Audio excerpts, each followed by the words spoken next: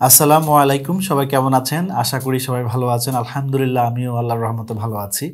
আজকে আমি খুব গুরুত্বপূর্ণ কিছু টপিক নিয়ে আলোচনা করব। অনেকে আমাকে মেসেজ করেছেন এবং কমেন্ট করেছেন আমার পেজে যে কীভাবে অনলাইনে ক্যারিয়ার করা যায়। সো এই বিষয়টা আসলে যারা নতুন তাদের জন্য খুবই গুরুত্বপূর্ণ। তো, প্রযুক্তি যেভাবে আপডেট হচ্ছে, আসলে আমাদেরকেও সেই সমস্ত বিষয়ে নলেজ রাখা উচিত। আমরা যারা এই বিষয়ে একদম খুব জানি না, তাদের জন্য আসলে সামনের দিনগুলো কেমন হবে আল্লাহ ভালো জানে। তো আসলে আমরা জেনারেল থেকে যারা পড়াশোনা করেছি, সবাই অনেকেই মনে করে যে আমরা ডাক্তার ইঞ্জিনিয়ার বা আরও অনেক কিছু হব। তো আমরা অনেকগুলো বই পড়ি। আসলে সবগুলো বইয়ের পড়া কিন্তু আমাদের জীবনে কাজে লাগে না। তো কেন লাগে না? সে কারণ হচ্ছে যে আমাদের যে যারা এই সিস্টেমগুলো তৈরি করছে, তারা হয়তো আগের মডিউলে তৈরি করেছে, কিন্তু বর্তমান যুগ যেভাবে আগাচ্ছে তো সেই সাথে আমাদের পাঠ্যসূচির সেই পরিবর্তনটা আনা দরকার ছিল। কিন্তু সেই পরিবর্তন না থাকার কারণে আমরা আগের ফর্মুলা শিখতে শিখতে আগের কনসেপ্টটা আমার মাথার ভিতরে চলে আসতেছে বা সেটাই অনেকে থেকে যাচ্ছে। এই জন্য সঠিক গাইডলাইন না পাওয়ার কারণে আমরা যখন লেখাপড়া শেষ করে ফেলি, তখন চাকরির বাজারে গিয়ে দেখে যে এই পড়ালেখার চাকরি খুব কমই কাজে লাগতেছে। তখন তার কাছে প্র্যাকটিক্যাল এক্সপিরিয়েন্স জিজ্ঞেস করা হচ্ছে তার কি কি এক্সপিরিয়েন্স আছে, কোন কোন কাজে সে দক্ষ, এই বিষয়গুলো প্রশ্ন করা হয়। তখন সে যখন এই প্রশ্নগুলোর উত্তর দিতে পারে না, তখন তাকে মূল্যায়ন করা হয় না এবং চাকরির থেকে তাকে রিজেক্ট করতে হয়। তো আসলে আমরা যদি লেখাপড়া অবস্থায় আমাদের ক্যারিয়ার নিয়ে চিন্তা করি, যেমন ধরেন আমরা লেখাপড়ার পাশাপাশি যদি আমরা কোনো একটা স্কিল ডেভেলপমেন্ট কাজ শিখতে পারি, সেটা আমাদের, সেটা হোক কম্পিউটার রিলেটেড অথবা অন্যান্য সেক্টরও আছে। তো আমরা যেহেতু আইটি রিলেটেড নিয়ে কাজ করি, তো আমরা এই বিষয়ে কথা বলব।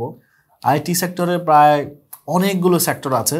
তার মধ্যে সবচেয়ে ইম্পর্ট্যান্ট সেক্টর হচ্ছে যেমন web design development digital marketing SEO video editing এরপর হচ্ছে গ্রাফিক ডিজাইন এভাবে আরও অসংখ্য সেক্টর আছে এবং দিন দিন আরও নতুন নতুন প্রযুক্তি আসতেছে। তো আমরা প্রতিদিন যদি ধরেন আপনি এসএসসি পরীক্ষা দিয়েছেন, তো আপনি যদি প্ল্যান করেন যে এসএসসি পরীক্ষার পর থেকে আপনি স্কিল ডেভেলপমেন্ট শুরু করবেন বা আপনি যে ক্লাসে থাকেন, প্রতিদিন তিন ঘণ্টা, চার ঘণ্টা করে যদি আপনি যে সময়গুলো আপনি বন্ধুদের সাথে আড্ডা দিতেন অথবা ফেসবুক ইউজ করতেন, সেই সময়গুলো যদি আপনি স্কিল ডেভেলপমেন্টে কাজে লাগান, তাহলে দীর্ঘ এক বছর যদি আপনি এভাবে টানা করতে থাকেন, যে সাবজেক্টের উপরে আপনি স্কিল ডেভেলপ করতে চান, আমি মনে করি এক বছর কেউ যদি এভাবে প্র্যাকটিস করতে থাকে এবং রিসার্চ করতে থাকে, তাহলে সে ওই সেক্টরে দক্ষ হয়ে যাবে। তো এর আগে আমি আরেকটা কথা বলব, আপনি যখন কোনো একটা কাজ পছন্দ করবেন, যে আমি একজন ডিজিটাল মার্কেটার হতে চায় অথবা একজন প্রোগ্রামার হতে চায়, তাহলে আপনি এক্ষেত্রে আগে আপনার সিনিয়র পরিচিত যদি কেউ থাকে, তাদের থেকে হেল্প নিতে পারেন যে কোন দিক থেকে শুরু করলে ভালো হবে। এর পাশাপাশি গুগল ইউটিউব এগুলো তো আপনারা সার্চ করতে পারেন এবং অনলাইনে বিভিন্ন ব্লগ সাইট আছে ফোরাম আছে হ্যাঁ এই সমস্ত সাইটগুলো গুগলে সার্চ করলে আপনারা পেয়ে যাবেন এবং সেগুলো থেকে আপনারা টিপসগুলো পড়ে নেবেন যে কীভাবে শুরু করতে হবে। প্রত্যেকটা কাজের একটা স্ট্র্যাটেজি আছে, একটা নিয়ম আছে। সো আপনি যদি নিয়মের বাইরে শিখেন, তাহলে লম্বা সময় নষ্ট হয়ে যাবে আপনার। কারণ আমরা একটা, আমরা যদি ধরেন ঢাকা থেকে চট্টগ্রাম যাব, তো যে রোড দিয়ে চট্টগ্রাম যেতে হয়, আমি যদি তার উল্টা রোড দিয়ে যাই তার জীবনে কি চট্টগ্রাম খুঁজে পাবো?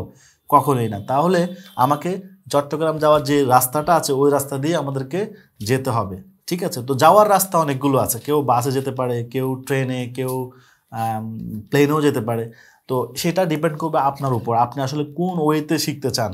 কেউ কোর্স করে শিখে, কেউ মানে ইউটিউব দেখে শিখে, কেউ আবার কোনো সিনিয়র ভাইদের কাছ থেকে শিখতে পারে বা সরাসরি নিজেও রিসার্চ করে শিখতে পারে। একটা ইম্পর্টেন্ট বিষয় হচ্ছে যে আমরা আসলে অনেকে ইউটিউব নির্ভর করি অথবা নিজে নিজে ট্রাই করি। তো এতে করে দেখা যাচ্ছে একটা বিষয় কি সময় নষ্ট হয়ে যায় বেশি। কারণ আমাদের সময় কিন্তু খুব গুরুত্বপূর্ণ। আপনি যদি কোনো এক্সপার্ট কাছে কোর্স করেন, সে আপনার কাজ পরিচিত হোক বা অপরিচিত হোক, সেটা বিষয় না। যদি ট্রাস্টেড এবং এক্সপার্ট কারও কাছে কোর্স করেন, তাহলে উনি আপনাকে যদি অনেস্টলি আপনাকে শেখায়, তাহলে খুব অল্প সময়ে আপনার যে কাজটা শিখতে এক বছর সময় লাগবে, সেটা তিনি পাঁচ, ছয় মাসে শিখে ফেলতে পারবেন। তার মানে আপনার অনেকগুলো সময় কিন্তু সেভ হয়ে যাচ্ছে। আমাদেরকে এই বিষয়গুলো খেয়াল রাখতে হবে। শুরু করার আগে অবশ্যই আপনি রিসার্চ করতে পারেন ইউটিউবে গুগলে যে আসলে আপনি কাজটা কেমন বুঝেন। তো প্রথম বিষয় আমি আবার বলব যে যে কাজটা আপনি করতে চান, অনেকগুলো কোর্স আছে, অনেকগুলো সেক্টর আছে। তো যেটা আপনার ভালো লাগে, প্রথম আপনার সেক্টর চয়েস করবেন যে আপনি কোন সেক্টরে কাজ করতে চান। Digital marketing web design development graphic design SEO video editing ethical hacking এরকম অসংখ্য কাজ আছে। তবে এখানে হালাল হারাম বিষয়গুলো একটু ফোকাস রাখবেন। যে কাজগুলো হারাম হওয়ার সম্ভাবনা বেশি, সেগুলো না শেখাই ভালো। আর যেগুলো হালাল ওয়ে আছে বেশি, সেগুলো করা ভালো। যেমন এক্সাম্পল দিই গ্রাফিক ডিজাইন গ্রাফিক ডিজাইনের বেশিরভাগে মেয়েদের ছবি, মানুষের ছবি আঁকাআঁকি করতে হয় এডিট করতে হয়। তো এই ক্ষেত্রে হারাম কাজটাই বেশি আসবে। তো আপনি রিক্সে থাকবেন সব সময় আর ডিজিটাল মার্কেটিং বা এখানে হালাল হারাম দুইটাই আছে এবং হারামের ওয়েটা কম এখানে। কেন কম? ধরেন আপনি একটা প্রোডাক্টের অ্যাড দিবেন, সেখানে মেয়ের ছবি ইউজ না করলেও আপনি প্রোডাক্টের অ্যাড দিতে পারবেন। কিন্তু একটা মেয়ের ছবি যখন আপনাকে এডিট করতে দিবে, সেখানে আপনি আরেকজনের ছবি এডিট করতে পারবেন না। ওই মেয়েরটাই করতে হবে বাধ্যগত। তো এক্ষেত্রে আপনি এই বিষয়গুলো খেয়াল করবেন।